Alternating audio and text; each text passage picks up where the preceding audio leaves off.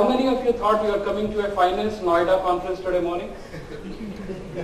so you're still in the right conference. It's not a finance Noida conference. It's still the Agile Noida conference. And uh, before I scare the hell out of you, it is not, we're not going to talk about finance at all. Right? We're not going to talk about budgeting. It's not like you get up in the morning and say, yeah, I'm going to go to holiday today and I'm going to learn something about budgeting on a Sunday morning, right? That's not my aim. So we're not going to talk about that. But you made my job easier because I think a lot of things that we have talked about, we are going to go a little up in the air, 30,000 feet, and really talk about, and we are going to actually talk about how organizations need to look at it. And we'll talk about and we'll learn about from some of the organizations who have actually done some of the things, some of those horror bosses and horror stories that uh, Reena talked about. We'll also, talk, we'll also look at some of the ones that are doing some really, really awesome job here.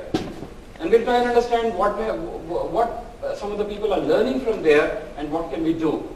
And you made my job difficult because I don't think we can match, I can match the energy and the enthu and the fun that you brought in that, but I'll try my level best, right? So, uh, so we're going to talk about uh, beyond budgeting today. Anyone has heard this term before? Those who have heard, don't say anything. Okay. Because let me have my moment here, okay? So we so we talk about uh, we try and understand what is really beyond budgeting. Uh, I live in Bangalore. I um, this is a little bit of commercial break about me. Uh, I started uh, as a freelance uh, coach. I coach organizations in innovation, agility, and leadership. And uh, my book just got out. it's on Amazon. Reena talked about Amazon.com. It's there. So, it just, it just came out three weeks back. Took me a year. Took me a year of getting up at four in the morning and writing the book. So I'm happy for the work that I did there. I've started to write the next book, which is really at this point thinking, ideating, iterating on agile cultures, human values, people. How do we? Why do we do the things that we do, and so on and so forth. So if you have any ideas, let me know. Okay, with that, I just want to get started directly to the subject. Anyone knows this picture, this bank, this location, which country this could be from? Germany. Okay, bank, I, I think the word bank does look like that and you can see some women who are probably standing at an ATM over there. Okay. Uh, it's not Germany, it's uh, Sweden. It's actually a Swedish bank, Handelsbanken. And this is the story of a bank which is the most unusual bank that you would have heard of. And let me tell you some of the stories. The stories is so big that I will have to refer to my notes actually. So this was actually started in 1871 and this bank today has about 800 branches in 24 countries and it has only about 11,000 employees. So you can imagine, this is actually the oldest bank that is, oldest company that is listed on the Stockholm Exchange. And this bank is so unusual that in 1971, it decided to abandon budgeting. It decided, it told its people that, hey, we are not going to mess into your daily affairs. And they told all the branches that you are the bank. They said there is no concept of a headquarters. You guys are going to run the bank. You are going to run the branch the way the banks are run. So you guys are going to figure out how you run a bank. Very unusual approach. So unusual that these guys have the highest return on equity among their peer banks. In the 2008 uh, meltdown, these, this bank was the only bank in, uh, I guess in Europe, or at least in Sweden, that did not require any kind of bailout or intervention. It was so successful. So whatever they are doing is not just for keeping the people busy, it's also showing the results to them. They have only one mantra, respect for people. Whether it is a customer or an employee, respect for the people. That's all they do. So it's a very unusual story and something that's going to warm your heart actually as you read about it, what they do and what they kind of, uh, uh, how, they do things and so on. That is, that is going to be one of the things that I'm going to talk about and what we have been doing, there, there are a lot of researchers who have been learning from, hey, what is it that these guys have done so unusual that actually allows us, can we learn something from there? Are there lessons that we can replicate from this to another place here? So, now before that, let me just come to a question there. All, how many of you are following or, or following or doing or being or in some shape or form embracing Agile? Can you raise your hand? Okay, I see majority of the people, 99% of the people probably. Can you also once again, if I can, if you can uh, please do that, how many of you believe that your organizational processes, mindsets at the org level are orthogonal or, or let, let me turn it around. How many of you believe that your organizational mental models are aligned to the values of agility? Can you please raise your hands? I get two, I can see two or three hands here. Why is it so? Why is it that we have 99% of the people in this room saying that we follow agile, we are really being agile here, we are really doing it at the team level, but the moment I flip the question around at the org level, we have less than three hands here. And that's the question that I want to answer here. Is one of the biggest challenges that we are seeing here is because of the impedance mismatch between theory X and theory Y. Anyone familiar with theory X and theory Y here? I see one hand here. Thank you, Victor. And I one more. So Douglas McGregor talked about this theory X and theory Y. Theory X was really all about Theory X believes that, hey, people are lazy bumps. These guys are really trying to find, they are slackers, they are lazy people, they don't like to work, they have to be supervised. You know what? We even have to pay them to get them to work. It's like that bad. They don't want to do anything. And then there was this gentleman, Douglas McGregor, in, in the late 50s, he came up with this fantastic idea. He wrote a paper in the book uh, after that, The Human Side of Enterprise, in which he came up with this theory X concept, theory Y. And the theory Y is people are all nice people. We all like to be in the, we all like to work, we all like to collaborate, we all like to be nice to each other, we all like to be the ray of sunshine to people, we all like to, uh, to collaborate and work on the common problems. We, we have intrinsic motivation for us to come to work and do something there. We are not looking only for the extrinsic motivation. Now what has happened over a period of time is that we are realizing that we are actually doing with ideas like agile and multiple other ideas. We kind of have a theory Y, but we are still trying to put a square peg in a round hole.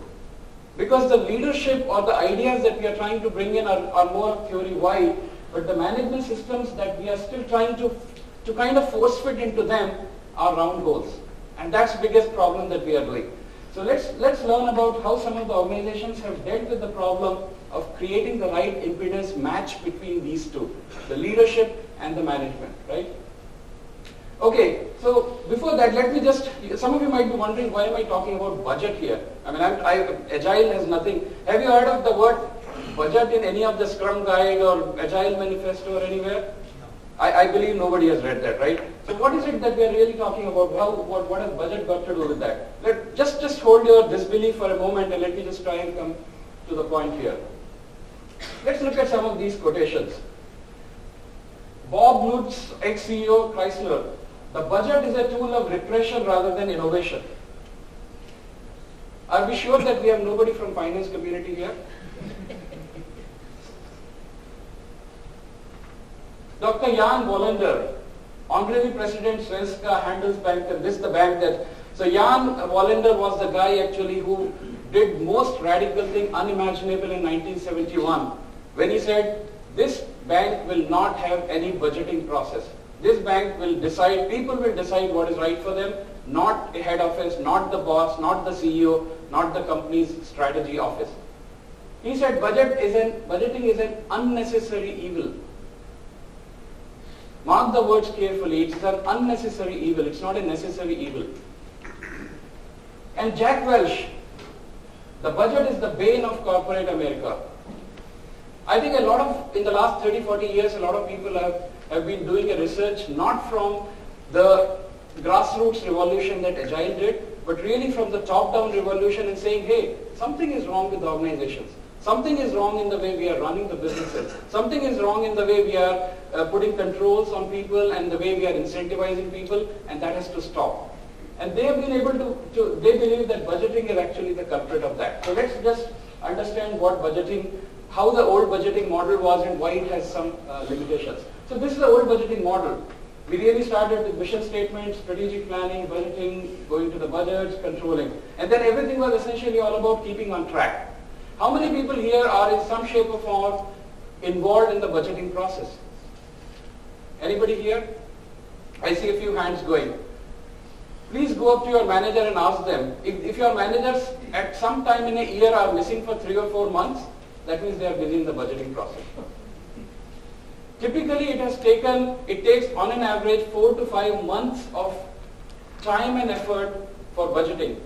In 1998 they did a research and they found, they did a benchmarking and they found for every billion dollar of revenue, 25,000 person days of company's effort is going only in budgeting.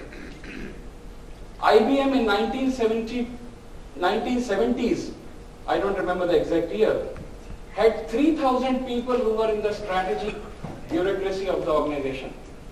1.2 billion dollars was going only in feeding the white elephant of these 3,000 people. So much so that their annual planning used to take 18 months. annual planning taking 18 months. Imagine that's what they come they had come to, right? So that's the problem that we had with this. Because in the new changing world, none of these things really mattered. We were not talking about stable targets. We were not talking about moving. Uh, we we we, we moved from uh, static to the moving targets here. We went to the point where a lot of that data point that we were looking at were kind of an exercise in futility. They were meaningless, but we were still just going through the motion. We were setting arbitrary timelines. We were saying, okay, we have to do this kind of a thing. Let's set an annual budget. The annual budget is going to dictate how people behave. It led to the performance contract because it said, hey, this is your annual budget. You have half a million dollars and you have to get the revenue of five million dollars. This is what I expect from you. This is your playbook. Go and run with that. It created the kind of challenges and companies after companies people after people, they got burned. We have Enrons and the WorldComs of the world and so many examples where people were only being told that uh, if you don't really ship something, you will be shipped out. And people were only forced to follow the fixed targets there.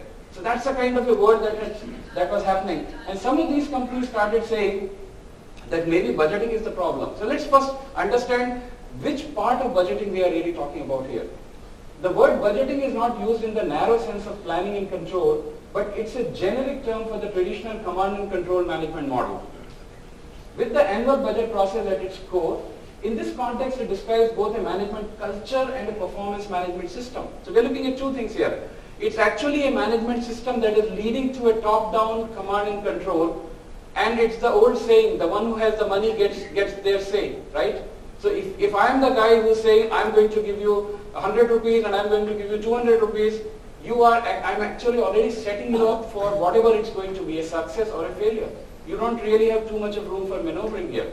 Right? So it's a top-down command and control manner. Now you could be doing a lot of local optimizations. I don't care because I've already set the high-level conditions that you are going to you are going to really behave and operate in those uh, conditions there. So it not only created a context for management culture, it even drove down the, it was it was kind of a dumping down of the of the whole performance management system. We started telling, okay, now this is what you have to do, and if you can't, cannot deliver, you don't need to be here. So it came to the point where any kind of an empowerment from the grassroots level was uh, a wishful thinking at, it, at its best because people can keep doing. I mean, look at it this way. Have you heard of those agile? Uh, I, I, have done a lot of analysis on that data. There are some of the agile gurus, very respected agile gurus, whose marketing brochure says that you will get thousand times performance, thousand percentage performance improvement, ten times performance improvement, twenty times performance improvement if you use agile and Scrum. Have you seen some of those data points? I, I, so I was curious to know what's really happening to these companies. Can we understand a little more about it? So I went to Standard & Poor's 500 index. S&P 500 index is the, is the world's 500 largest publicly traded companies on New York Stock Exchange and NASDAQ. And I looked at their profitability. And I found their profitability. Can you guess what is the profit margin of the, the average profit margin of S&P 500 companies? Any guesses? 10%? It's about 15%. So I said on one hand we are saying that, that this whole agile thing is going to give me 10 times, 20 times productivity and all that things. And guess what? When all these large corporations, when they actually go, they are really talking about 10% and 12% perform, uh, profitability. So where is it getting evaporated really? Where is it really, uh, where, where are we losing it? And I, I, when I when I was when I started reading about beyond budgeting, I thought I was find I was getting closer to that answer. I think there is a clear-cut impedance mismatch between what we can accomplish and what we have allowed the team to accomplish versus what the, what the headquarters or what the CEO office thinks the team should be accomplishing, right? So that's where the whole genesis of budgeting is. So what is beyond budgeting then? What does it mean? Should we not do any budgeting? If, if budgeting is the culprit, that means we should stop doing it. Let's look little, a little before that. Beyond budgeting means beyond command and control towards a management model that is more empowered and adaptive. Does it sound like agile? Does it sound like agile in your teams? That's what we are really seeing. So this is actually a movement that started from the finance side of the equation into the organizations which, which knew nothing about agile, which knew, nothing about extreme programming or, or any of the stuff, Scrum, but they started looking at it top down and saying, hey, how do we fix it? And we have to probably move away from the command and control to something that's more empowered and adaptive. Think of the Handelsbanken, right, which I talked about. Every branch is a bank. Now can you imagine that kind of a thing? They have 800 branches in 24 countries. Every branch is a bank. I think it's, it's, uh, Naresh was yesterday talking about some of the examples he was giving where he said, any of my team members is free to talk about it. I think that's an empowerment at a team level, a, a great example of that. Now imagine being able to do it at a level of a company where you have 11,000 employees in 24 countries, 800 branches, and being able to go to all the branches and tell them, you can do whatever you want to do. Of course, they have some high-level operative guidance on that. But then at the end of the day, the branch is still free and expected to do serve their customers. In fact, they choose people and they make their policy. There is no central budget in Handelsbanken. So if I am the if I am the branch manager of a local branch and you guys are, I know I know your problems and you know me personally. I know you personally. So it's like the good old village type of a thing. That's what these guys have replicated at scale by doing the beyond budgeting there. And beyond budgeting is about rethinking how do we manage organizations in a post-industrial world where innovative management models represent the only sustainable competitive advantage. Guess what? Tools are available. Is, is, do you think there is a tool that you or your company has that nobody else in the world can, can get their hands on? All tools are for sale or for free download whichever you want to do. Is there a method or a process that is a secret weapon of somebody? Do you, do you sincerely believe that there is a company in the world that actually has a secret process, method or tool? I don't believe so. I believe the only thing that is secret about a company is its mindset, its culture, how they attack the problems, how do they really look at them, how do they really innovate about it, what kind of management models do they have to support the innovation that they have, right? And it, it also is about releasing people from the burdens of stifling bureaucracy and suffocating control systems, trusting them with the information and giving them time to think, reflect, share, learn and improve. So that is the kind of a context that we are talking about when we talk about beyond budgeting. So what is beyond budgeting?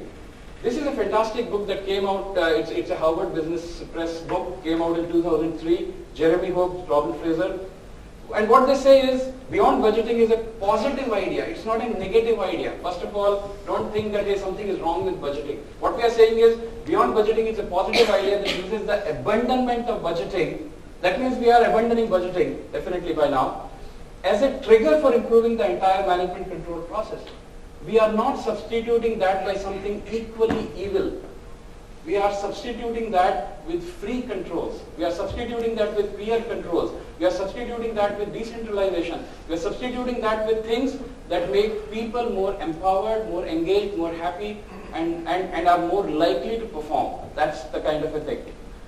Before I jump into the model and talk about some of it, just a, a big warning. It's a model, it's not a tool. Don't think that there is a process like a CMMI that you can just follow or a tool that you can just go and run with that. It's a model, it's a thinking, it's, it's something that has to evolve around the organization, right?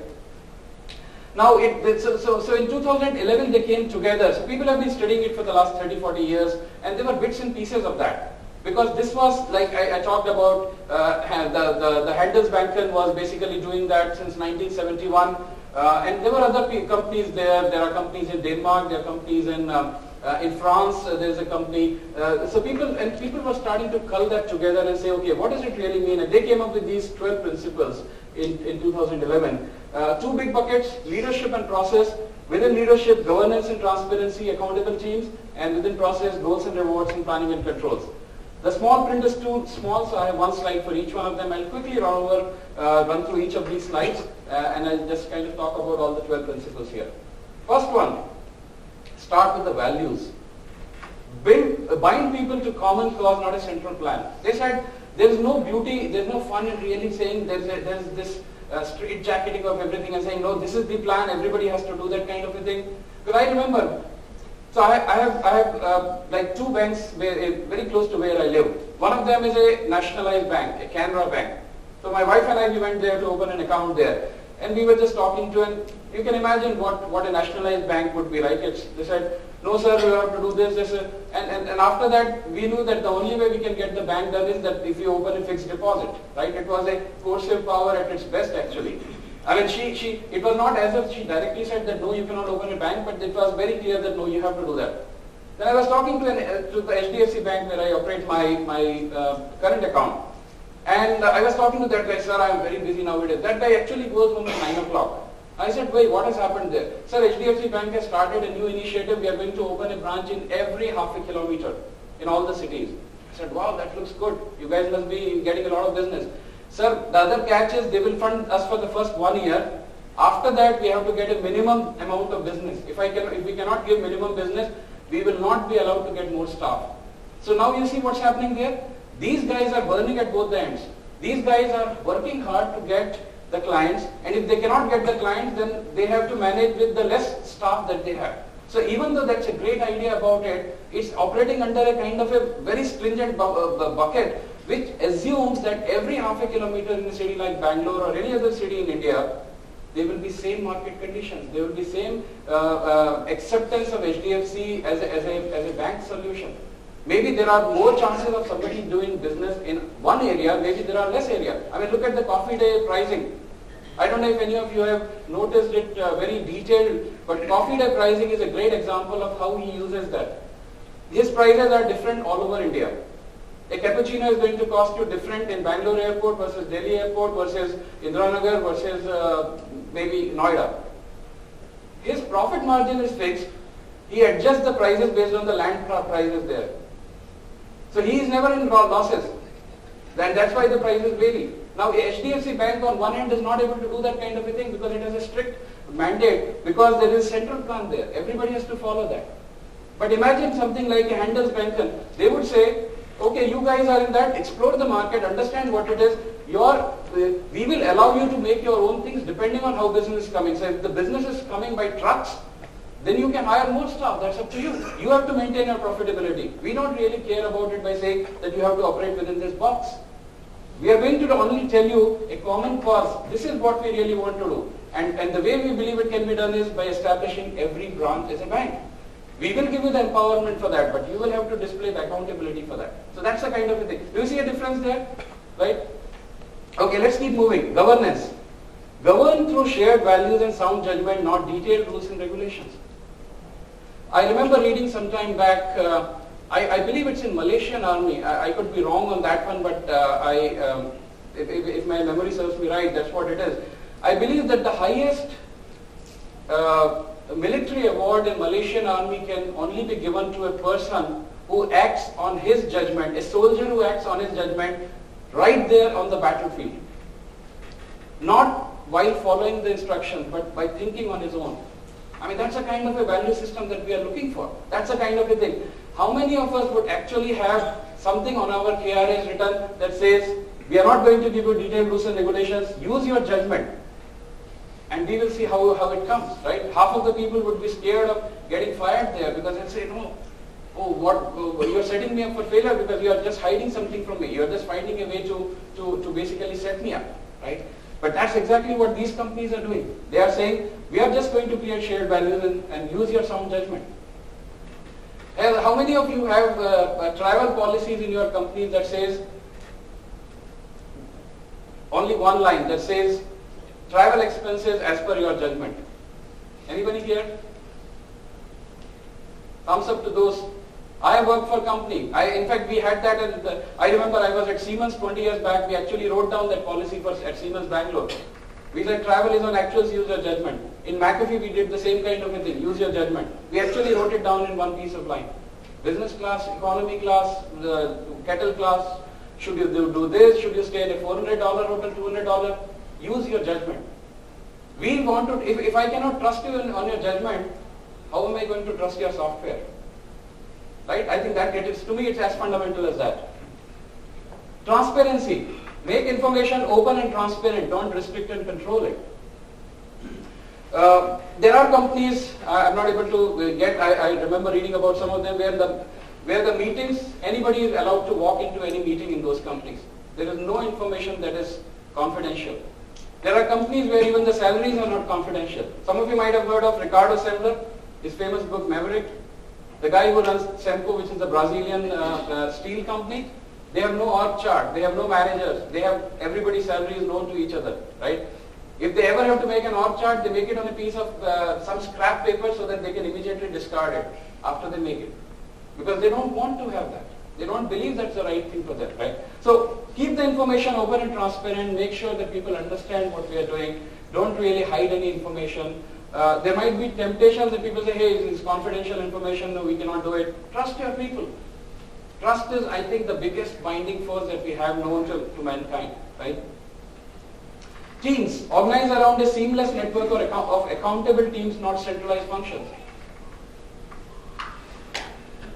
Account team says, sir, this is not my job, I go to finance team. Finance team says, no, no, no, we cannot give it, tell it to you, go to, go to procurement. Procurement says, no, no, we haven't got the approval from the, uh, from the budgeting office. You have like five different uh, people who need to be in the room just in order to make a decision or to execute on a decision there. What we are saying here is Organize around the seamless network of accountable teams. Build accountability in the teams and not create silos. The only thing the silos do is pass it on to somebody else. It's not my problem. It's look at them. I mean, the whole finger pointing and, and the blame game uh, goes on with that. Trust.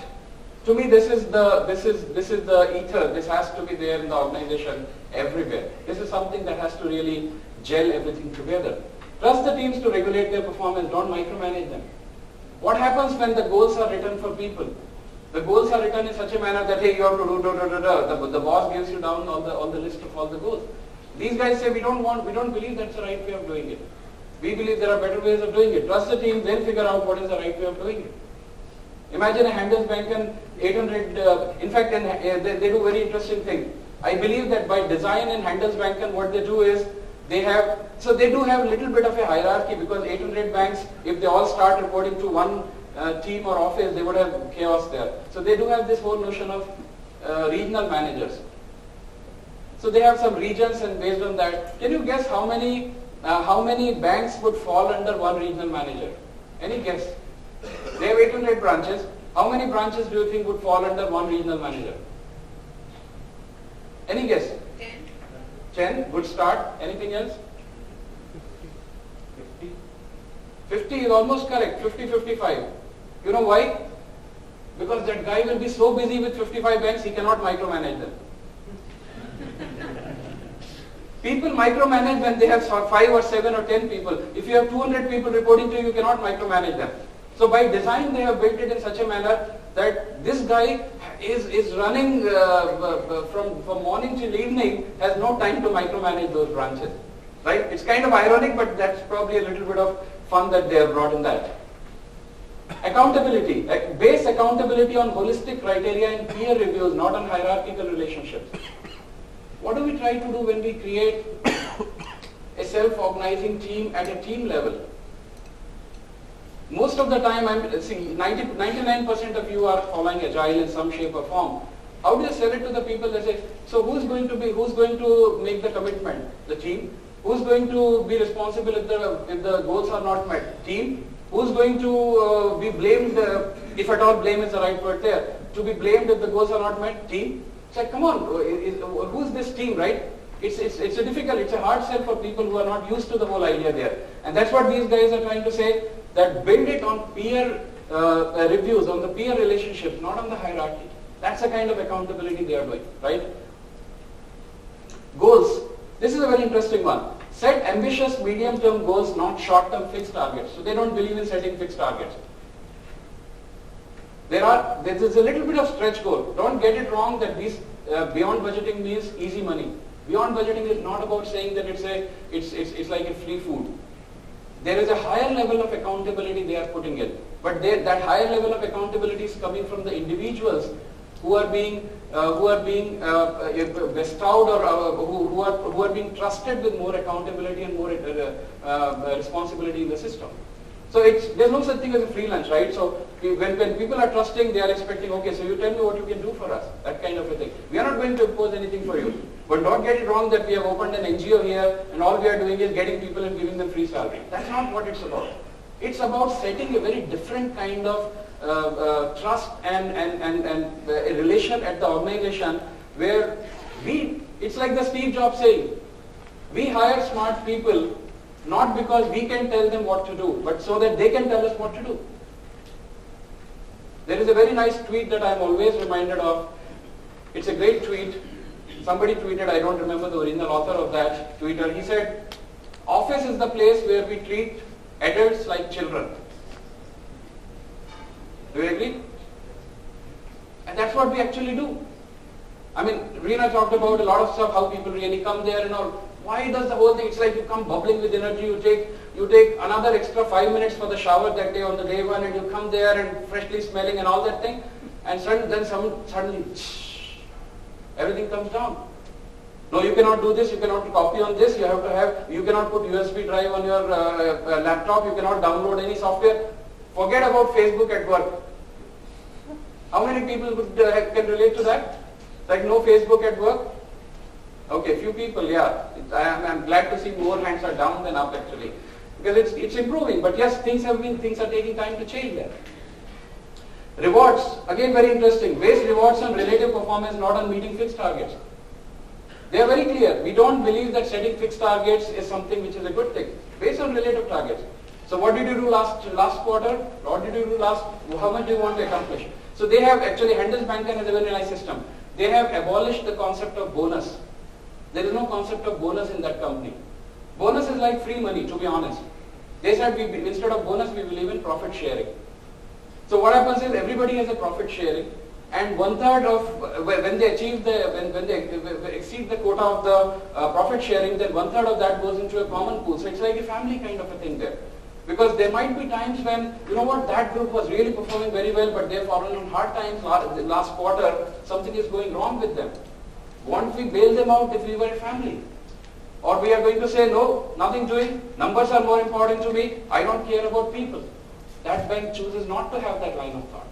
That bank chooses to say, we understand there will be fluctuations, there will be, in fact, we are designing beyond budgeting for variability, for fluctuations in, in, the, in the business cycles.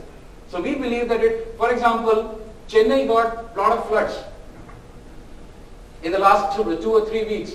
If you were a bank or any business which had foot soldiers who were selling something, would you be raising, would you be uh, having the same level of expectations from that workforce in Chennai? I think it would be extremely unfortunate if anyone were to do that, right? And what should rest of the workforce, uh, their colleagues do in rest of India? Should they just say, oh guys, okay, now uh, don't talk to us, come and meet your target, then we'll talk about it. Or they will say, hey guys, we totally get it. We will do something. We, we, I, I know we, I cannot be there with you and hold your hand and be with you guys at this point in time, but my heart is with you. I am totally with you guys. We will do whatever it can do. Right? That's the kind of a thing we're talking about. That's how we build great organizations. We don't build great organizations by just cutting corners somewhere here and there and treating people like treating people like resources. I mean, that's one word I just my pet peeve, human resources.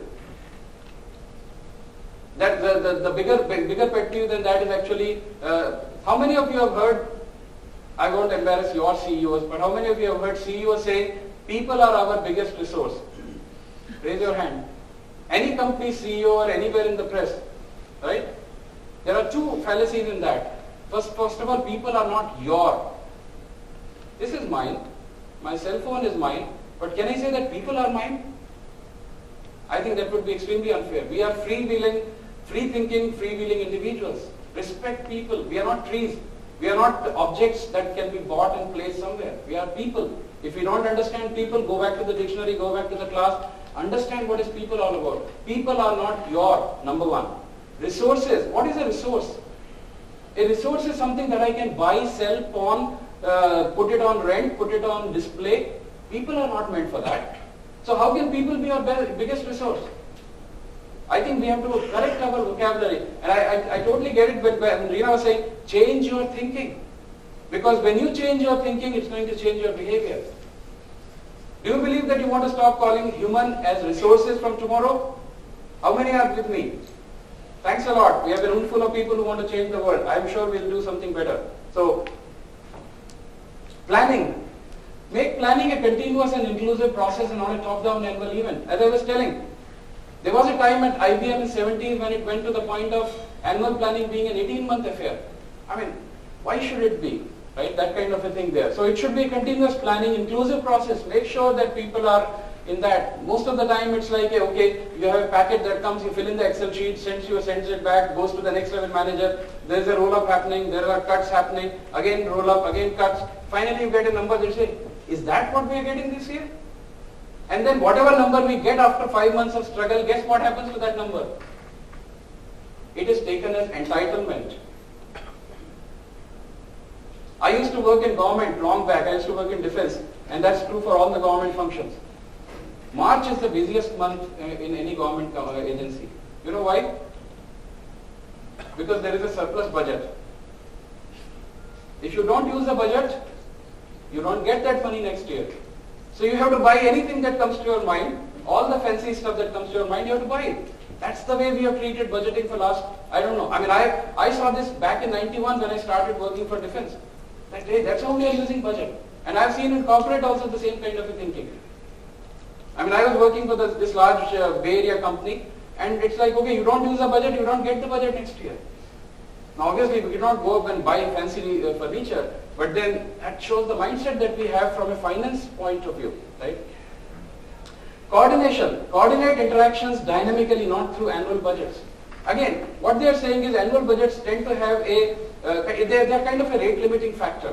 They align people's behavior, they align people's actions, they align people's plan, they align execution of the strategy because of the budgeting. You have you have 20 headcounts, you have five, you, you have uh, uh, 50 uh, 50,000 rupees, you can do this much of it. Oh no, your your budget is this much, so you can only party in this place there, right? I mean, uh, what are we talking about? If we are, are we not willing to treat people as individuals who understand their business and will make the right decision when, when, when given the right opportunity to do so? We, we actually templatize the entire behavior. So we say, no, you cannot do this, you cannot do this, you cannot do this. The don't do list looks bigger than the do list actually. Right? So that's the kind of a thing that, uh, so resources, make resources available just in time, not just in case. That's a very impactful one. Most of the time we say, hey, just in case, oh no, oh no, I think let's do that thing, I think we'll need this. Why not have it just in time? Why not, I mean today's, today's market can supply you anything, literally just in time. Well, you'll have to work harder to make sure that happens there, but why do you want to stuff your inventory there by just in case kind of a thinking there, right? Just because you have the budget doesn't mean that you actually go out and do that kind of stuff. If some of, many of you might be following the whole startup landscape in India today, Three years back, all those uh, big uh, uh, startups, housing.com and bunch of other ones, where there was like all beautiful romantic stories about how good they are and they are hiring and all that thing. Today they are uh, uh, firing people, right? Unceremoniously firing people. There's no headline grabbing happening on that. There's unceremoniously hiring. Why do you need to do that? I mean, I was surprised actually, Tiny Owl has what, 500, 300 people or something. I said, okay, fine, it's an app there, fine, there. With 300 people? How many people WhatsApp had when they sold it for $19 billion? Probably 50 people working in a small garage. Uh, they didn't even, I mean, the, the address to WhatsApp office was like, there was that board uh, outside a warehouse that said, take the left turn and use the back door. As unsexy office as it could be. Why do you need to splurge money? So these companies, make no mistake, when they talk about beyond budgeting, they are extremely cost conscious. They're extremely frugal in what they do. And, and, and so, so they are not really taking a free ride on the money. Control, base controls on base controls on fast and frequent feedback, not on budget variance. How is typically the in the in the whole budgeting cycle, how do we put the controls? Oh no, you are above budget there, 5%, we'll have to do something there. What do we do? No, we are going to freeze the hiring this quarter. When I worked for a company for four years where I worked there, Q1 budgets are frozen. Q2 travel is frozen. Q3 hiring is frozen. Q4 layoffs. I saw that for four years. What are we doing? Why we cannot come out of that madness? What stops us from really following a more sensible approach to doing that?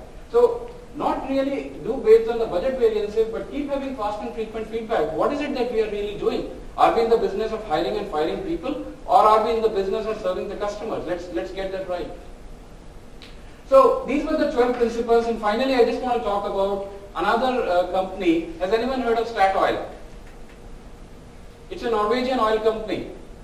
I think its revenues are probably about 100 billion dollars, or give or take a few 10 billion dollars here and there. Uh, they are they are like Fortune 50 company kind of a thing. And that's a company which is very unusual because they actually in 2005 abolished traditional budgeting.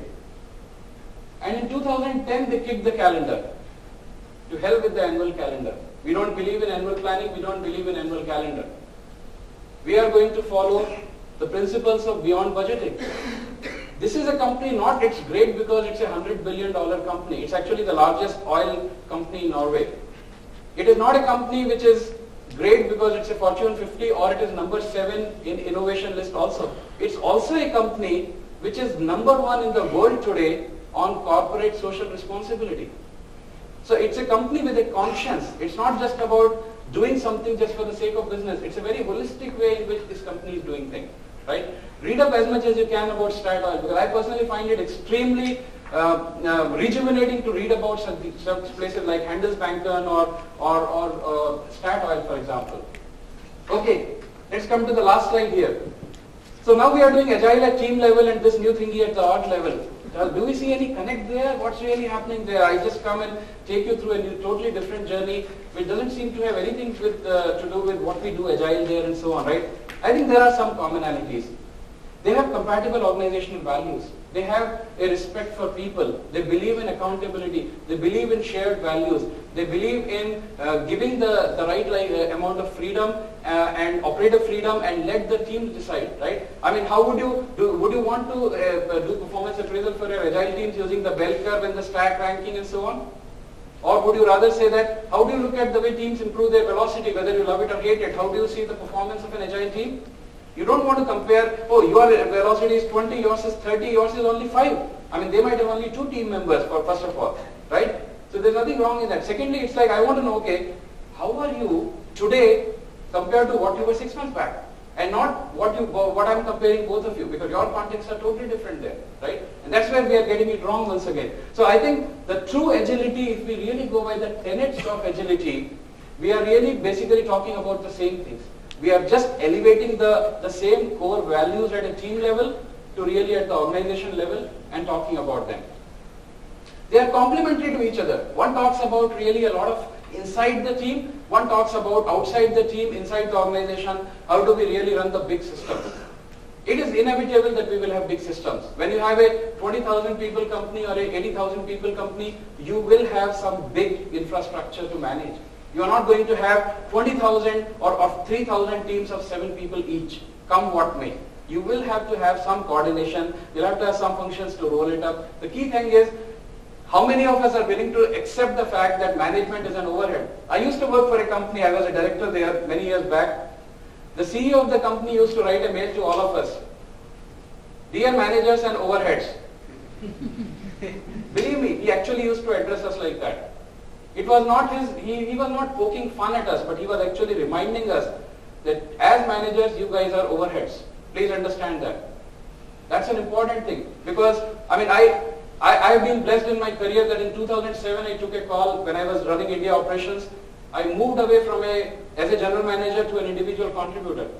And for seven years as a VP role, I was an individual contributor. And I have never felt more empowered in my life than ever than having 200 people report to me. We can talk about it later in the day if you don't believe it, but I'll be, but I personally found that the true power, I think you talked about the informal power, you don't need a title, you don't need a corner office, you don't need a reserved parking lot, you don't need people calling you sir or ma'am, you don't need uh, to wear special clothes. You have to believe that you can add value. Are, a are you a servant leader? Can you really help your people? I think those are some of the things that we are looking at here. And finally, decision making by empiricism. We are not talking, we are not taking a, Hail Mary way of doing projects here, right? In Agile, we don't do a Hail Mary style of project management. Kick the ball and then you are chanting Hail Mary, Hail Mary. The ball might go there and land in the goal there. That's not the Agile way of doing it, right? We are adjusting and adapting our plans constantly. We are looking at what is the best way to reach the goal, given the fact that we don't know how we are going to get there. We know the general direction, right? It's, it's, it's like the Swiss Army manual saying that says, when the map and the terrain disagree, trust the terrain. It says clearly, common sense, they had to write it down. If the map and the terrain disagree, trust the terrain, don't trust the map, right? The problem is a lot of us have been given map by our trainers and coaches and said, go and follow this map. Where all, you, all they had to tell you was, if there is a disagreement between map and terrain, trust the terrain.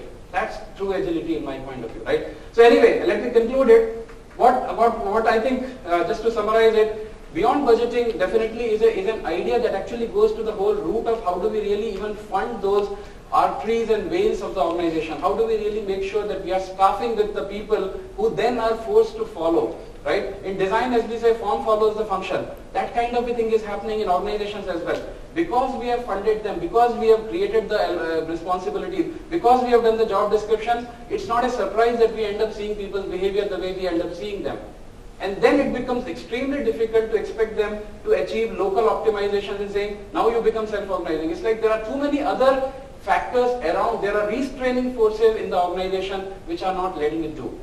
So these set of people, the beyond budgeting roundtable and uh, a lot of folks feel that there is little people in the trenches can do. They can improve their behavior, they can change their mindset, but as we have seen uh, uh, from uh, from various theories, Lewin's, Levitt's theory, that environment also plays a big effect on people's performance. So if we don't change the environment, we are never going to get to the point of creating truly agile organizations. And these people, unknown to the whole agile, uh, they, they didn't know anything about agile transformation, agile manifesto or anything. They just said okay, there has to be a better way of improving the organizational effectiveness, which is what they have ended up creating there. Right? This book is a fantastic book. I would recommend. It's on Amazon. You can buy an ebook. Great book. I'm sure it's going to change you forever when you start reading more about this because it will give you the power of the idea. It will give you the belief that you can change it. And I just want to end it with one word that I think is the most beautiful word in English language. And that word is known as meliorism or being melioristic. Anyone has heard of that word before? Melioristic means it is a belief that by human intervention we can change things, we can improve things. I think to me agility is all about being melioristic. It is not about accepting the fate and saying that's what I cannot do anything more than that. It's not my job. That's not I'm supposed to do. It's uh, I'm not paid for this. But it's actually believing that with my intervention I can change the world. I can do something about it. I'll stop here and I'll close it down. I don't know if I have any time here, but if there is any, I'll be happy to take any questions. Thank you.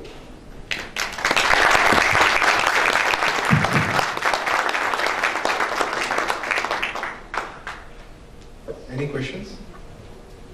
The pain points of uh, many of the enterprises, uh, especially at the pro program portfolio and the budgeting areas. Uh, do you have any more examples where at an enterprise level uh, the budgeting has gone towards more of an agile way uh, which complements at the, at the team level? Um, budgeting that has got at, at an organization, I don't know any personal examples. I know the case studies that are there in the public domain. That's, I mean, if you go to bbrt.org, there are enough case studies available there which talk about these uh, these very things. They may not have the familiar vocabulary of, of an agile portfolio uh, program manifesto and SAFe and the whole framework, but they are actually talking about uh, the fundamentals of yeah, yeah. Really not, not at a specific uh, framework, but more towards uh, what you told about. Yeah, I would I would recommend uh, take a look at those articles. Uh, this this gentleman, I, I I'm sorry I don't know how to pronounce his name, Bjarte uh, Bogsnes. Uh, he's a VP at Statoil. His video talks are there on uh, on YouTube. Watch them, uh, and and you you'll get some good insights on that. Thank you. Question is on appraisal system. So, any recommendation on what appraisal system Agile team should follow? Throw it away. Agile is a team game, and we still have individual appraisal system. Throw it away. I think throw it away. I, I'm, I'm, I'm extremely thankful to companies like Microsoft and Accenture for making a big deal of the fact that they have discarded appraisal system. For last 30 years, we have been living with this, uh, with this uh, uh, uh irritant actually. Uh, it, it, was overdue. Their obituary was overdue, and I, am happy that now that has finally happened. They will find some better way. We may not know. Again, we have to have an agile mind there. I may not know exactly what I'm going to do to substitute or replace it today, because let's understand, every organization has a different context. We cannot, again, if, if, if I were to give you an answer and say, this is a template, go run with that, this is going to be the appraisal 2.0, I think this would be as unagile as any of the agile processes that you and I know. Because then we are saying that people, chemistry and the context does not matter. Culture of the organization does not matter. We have this one-size-fits-all template which now can go to anywhere, whether it's a high-performing team that does not need controls, or this is a team which has just come together and they are just trying to understand and form the trust circles, you will have the same way of doing it. It's like the agile process. You don't want to have the same agile process for both the teams. Both teams will discover. I of the belief that agile process is not something that you start with. Agile process is something that you end with. After a team has run its course successfully, after the people have come together and built equations of trust, they will create a, a process that will be agile for them. And that is what is agility all about. It's not about running with a standard process that says, this is agile process, come what may. Doesn't matter if you are a great superstar team or if you are a, a rookie team, right? So, that's it. Thank you. Okay, uh, I don't know, maybe if you have one more question, I'll be happy. Otherwise, I'll be more happy. You mentioned that um, when you were a manager and you were uh, handling a team of uh, some people and uh, at one stage of uh, you thought that uh, you will be an individual contributor. Yes. So what actually inspired you and when you mentioned it actually uh, you felt more empowered? To be honest, yeah, I wanted to get away from the pain of being a people manager. But that's a selfish motive. But I mean, apart from that, what else? I mean, uh, you know, mostly people quantify their role or going above uh, in terms of that how many people you are managing? That's a problem. It's considered very sexy to have say, hey, I was a manager, I was, I had 20 people under him and now I'm a senior manager, I have 40 people under me. Whatever that under means, I don't know. I think it's, it's, it has to be your self-confidence that you can walk away from the fact that the symbols of power mean nothing to you.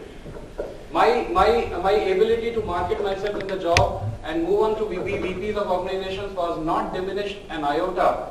In fact, I joined VP roles in most of the companies only because I was assured that nobody will be reporting into me. First of all, I was free from babysitting people. People have to be respected, not to be, to not, they are not meant to be babysat, right? People are people, trust them. They will do the right thing. They create the environment. A leader's role is not to babysit and handhold people. We have to move away from this Indian mentality that unless you have 27 layers of hierarchy, we are not really doing anything. I'm, I'm, I'm, very frank and blunt on those things, but I, I believe the last 30 years of IT industry in India has, has screwed up the whole uh, uh, uh, perspectives uh, for, a, for an entire generation for us, where we have gone away from, from uh, what was the good old values of really what it takes to build a, build a work, great workplace to the power equations where we are saying uh, so I, let me let me end that. I've run out of time, but let me just end that to, with you something which is very remarkable, which I learned from one of the great books. There is a book of, by, by name The Spider and the, the Starfish and the Spider. I would recommend that anybody who is interested in building great workplace should read that. It actually talks about two paradigms where a spider, if you crush the head, dies because it's very centralized, and a starfish, if you cut off the limb, it regrows actually. So, so most of the organizations which are actually very successful are starfish than spider and they continue to thrive. And the author actually talks about one of the American Indian tribes, uh, the original tribes when the Spanish came, they were able to actually conquer most of the American Indian tribes, the Cherokees and the, uh, the Mohicans and everybody at some point in time. But the Apache Indian tribe was there which was eluding them for more than 200 years. They were just not able to get to Apache Indians. The reason they, the Spaniards were not able to do anything to the Apache Indians was because there was no leader. There was no concept of leadership in them. There was no concept of power. There was no concept of hierarchy in that society. And they were not able to, they, they would kill the Nant'ans, the, those spiritual gurus that they had. Another one would reappear. They would kill them, they were nomads. They would burn their homes and they would do that, they would go somewhere else and live there. How do you find somebody like that? Right? This is not something. And later on it's equally interesting what really happened uh, and later on, uh, after Spaniards were not able to do, how did they really manage to break that society?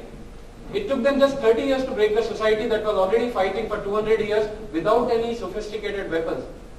All they did was gave them cows, literally. They gave them cows and cows became the power symbol for people. I have 20 cows, oh you have only 10 cows. You are a smaller chief, I am a bigger chief. They created a power hierarchy. They created an inequality inside a group that was always equal, egalitarian.